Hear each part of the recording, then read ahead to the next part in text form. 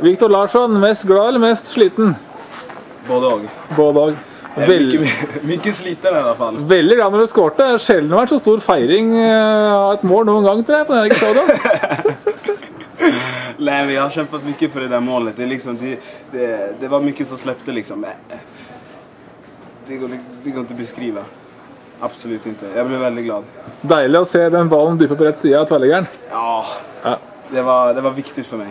Alltså det, det har varit viktigt bara att få, få komma in och, och vara med överhuvudtaget och, och spela liksom. Och sen nu när jag får göra mål också, då är det bara en, en jag, jag vet inte vad jag ska säga. En glad mann. ja, Det holder lenge.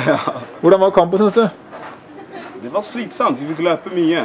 Och jag fick löpa lite fel ibland rent defensivt i första omgången. För att de hade, de hade en ganska god bäck där som jag slet lite med. Som fick spela på utsidan av mig. Men annars så tycker jag att vi spelade väldigt bra stundtals. Och eh, ja, vi förtjänar, jag tycker att vi förtjänar att vinna faktiskt. Alle løper og jobber for hverandre. Da vinner man kamper. Var det bare å holde på følelsen inn mot Glimt til helga? Ja, vi får prøve på det. det, er, det, det, det är alltid viktig å skåre mål. Så får vi se hvor langt det holder. Ja, men også laget at gutta er på høyre fremover. Ja, jeg är för fasiken. Alle gutter tror på det her nu. Nå er vi i igång.